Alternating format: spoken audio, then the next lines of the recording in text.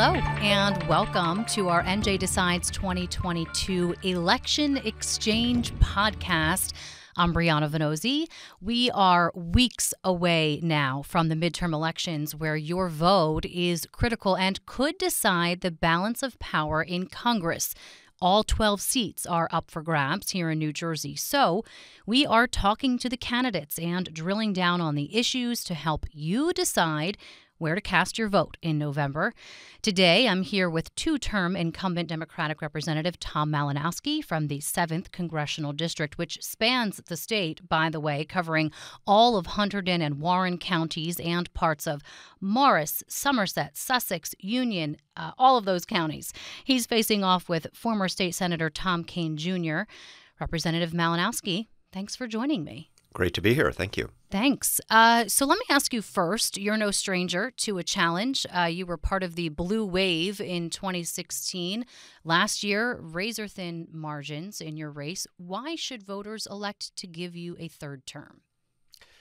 I go back to what um, I promised to do when I first ran in 2018, or more accurately, what voters asked me to do when, when I first ran. We, we talked about issues like the cost of health care in, in America uh, at a moment when the Affordable Care Act was on the chopping block. Well, I, I promised to save the ACA, make it more affordable. We passed legislation that did exactly that.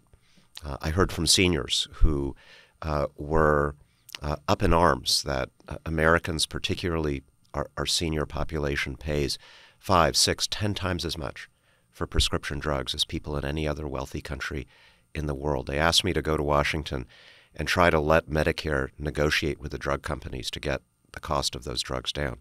We did that. I heard from commuters and, well, New Jerseyans of, of all stripes who were, were angry that for decades the federal government has done almost nothing to help us fix and repair our infrastructure, particularly big projects like the Gateway Tunnel. And I went to Washington, helped pass the biggest investment in American infrastructure in this country's history. I heard from parents of young kids who were upset that we're the only country in the world where parents drop their kids off at school and have to worry about school shootings. Do something, finally, about that problem. Well, we did. We beat the NRA, passed the first gun violence prevention bill in three decades, helped bring the economy back from COVID, saved millions and millions of jobs that would have been lost had we not acted. Now, I know there's a lot more that needs to be done. All those jobs we saved, we have to save the paychecks that go with those jobs. We've got to tackle inflation. We've done a lot to get gas prices down in the last couple of months. There's a lot more we need to do to fix our supply chains, to make our economy more resilient against all these global shocks that we are facing. But my hope is that voters, when they uh, decide who to choose, who, who's best to tackle those problems, they, they choose somebody who has kept their promises over the last four years, not somebody like my opponent who's complained about those problems but presented absolutely no solutions, no alternatives. In fact, he refuses to speak to voters or the press about what he would do if he were elected. Well, I'm I'm curious what you see as the biggest issue facing uh, both New Jersey and our nation if you are elected. Uh, there was a Monmouth University national poll out today, and it showed Democrats in particular are all over the place when it comes to issues. Um, prices, inflation, the economy really just wreaking havoc on, on folks' lives and, and they are concerned uh, about just you know, buying those groceries, getting those meals on the table. Uh, you mentioned a number of items which were in the Inflation Reduction Act. You backed that. Uh, I want to ask you A, what do you see as the biggest uh, issue facing us uh, as we head into this midterm election? But also, whether or not the spending in that Inflation Act is sustainable to achieve what folks, at least in this Monmouth University poll, say they need, which is just basic affordability. Uh, ab- absolutely. Well, the economy is the number one issue. It's not the only issue, but let's let's stick to the economy for a moment. The Inflation Reduction Act uh, is a bill that raises revenue rather than uh, simply spending money. Uh, in, during the pandemic, admittedly, we spent a lot of money because every economist in the country came to us and, and said, if we don't do something big, if you don't do something fast, those tens of millions of jobs that we lost in 2020, the millions of small businesses that had to shut down in 2020 would not come back. We were successful in bringing them back. Congress was also uh, criticized for for heavily inflating the economy, for for heavily stimulating the economy. Was that a, was that there was the right a move? bipartisan consensus that we had to stimulate the economy in order to save it. Remember, tens of millions of us were out of work two years ago. We were on the verge of a Great Depression. Today, we have the lowest unemployment in America in over 60 years. People have money to spend. The problem is that we brought back consumer spending, we brought back jobs before we could bring back the supply chains that provide us the goods that we want to buy.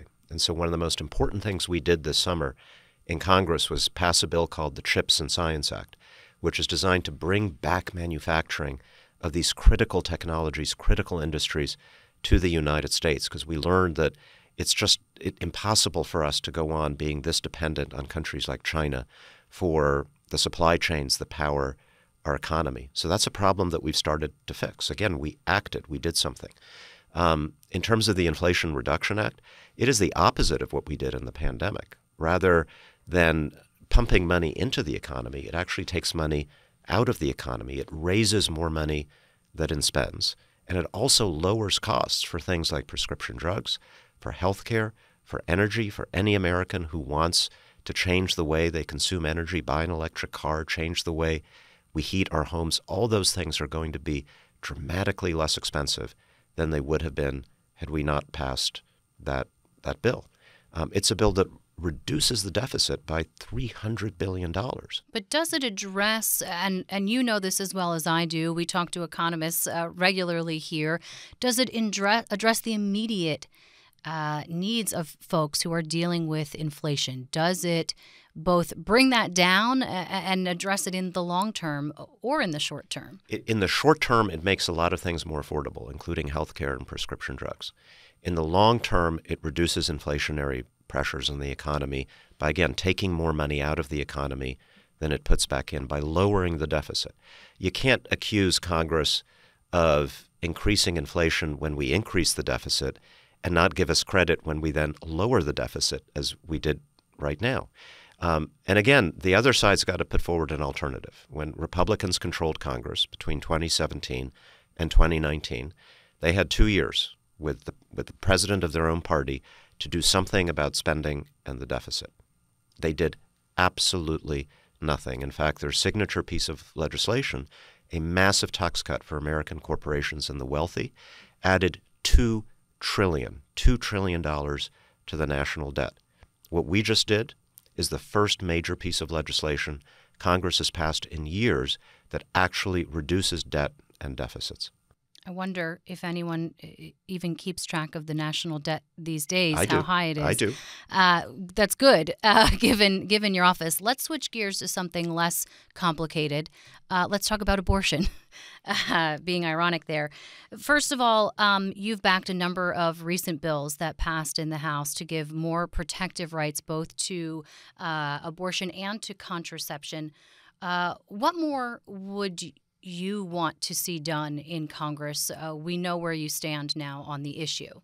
Um, the the issue of abortion is complicated for for for individuals, for, for families. Everything about pregnancy and childbirth is complicated. But what's not complicated for me is who should make the decision.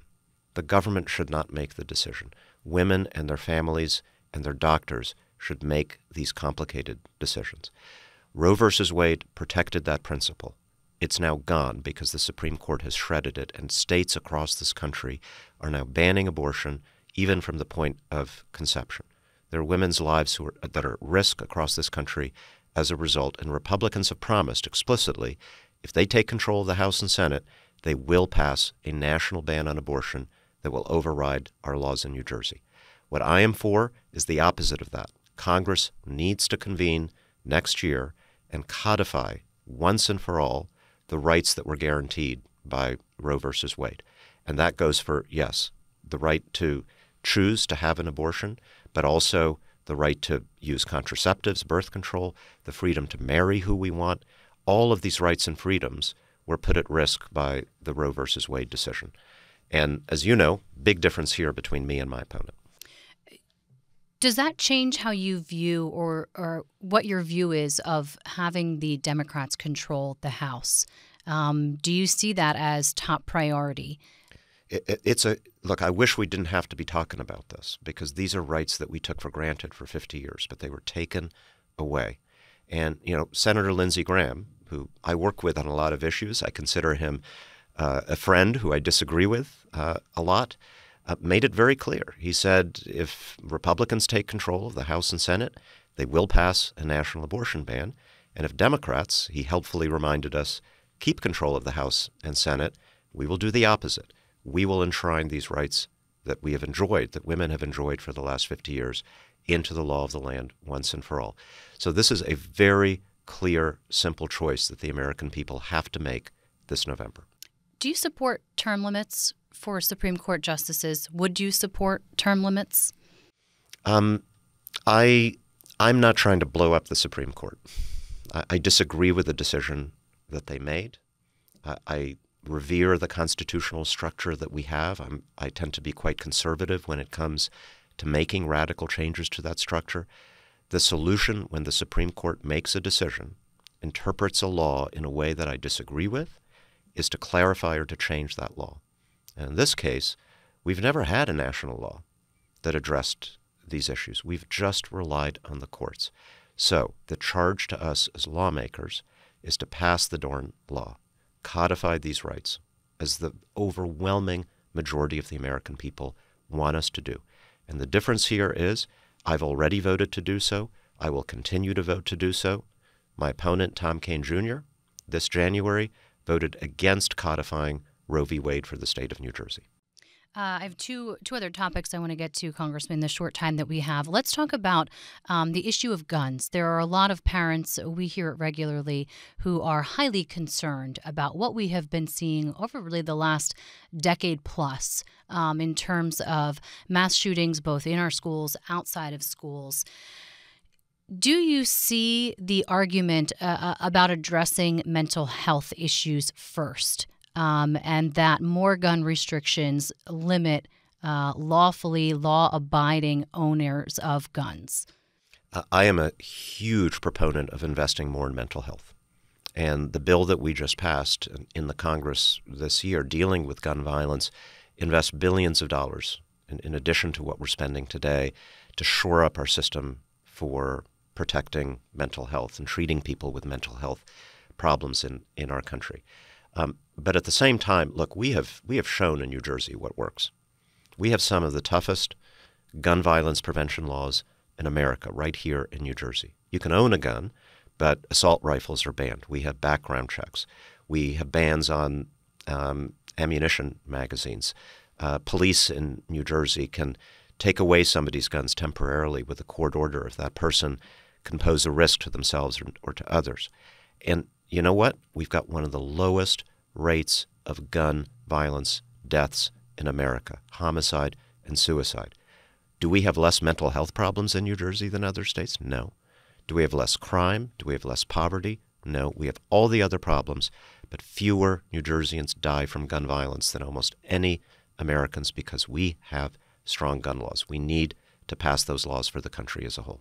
Um, let me wrap this up by asking about a, a, case that you have that was referred to the uh, House Ethics Committee. This was about uh, a number of stocks that were traded and not disclosed uh, in 2020. Uh, the committee did say that you were not accused of wrongdoing, but also didn't dismiss your case as they did with some of the other members of Congress who had cases before them. Where does that stand, and what can you tell voters who may be questioning that? Yeah, the, the, the Ethics Committee was looking into um, dozens of members of Congress, unfortunately, Republicans and Democrats, uh, who, like me, uh, screwed up the, the monthly transaction reports, were late in filing some of those reports, took responsibility for that uh, a, a, long time ago, corrected the problem with the help of the Ethics Committee. I'm now one of only about 10 members of Congress, the House and Senate, that has put my entire retirement savings into a fully blind trust. So I have no idea what my investments are, and I've co sponsored legislation that I've pushed hard for to ensure to require every single member of Congress to have a blind trust if we have any investments in the market whatsoever. Um, the the sure. case, where does it stand? Uh, it's resolved in terms of everything has been reported. Right now, the ethics committee is um, unable to function for a couple of reasons because tragic death of of the Republican ranking member uh, Jackie Walorski, um, and also because there are rules that prohibit it from issuing decisions in the months or the weeks before yeah. an election. But um, there's no ethics committee investigation into my case. It was sure. just a process to ensure that everything was accurately reported. In 30 seconds, then, what else do you want voters to know? Uh, some are already voting right now with mail in ballots. Uh, in the last four years, I've delivered on the issues that, that voters have asked me to, to fight for infrastructure, cost of living, the cost of drugs and health care, gun violence prevention. Um, I'm a moderate Democrat. I've built an alliance in my district of Republicans and Democrats who support me. I've stood up to extremism on both sides of the of the aisle. My opponent, unfortunately, is running uh, to the hard MAGA right promise to stand by Donald Trump no matter what Donald Trump does. He's proposed absolutely no solutions to the problems of inflation, supply chains, all the problems that we're facing in our economy. I think it's a clear choice between people who are trying to deliver for their constituents and somebody who is simply trying to divide us.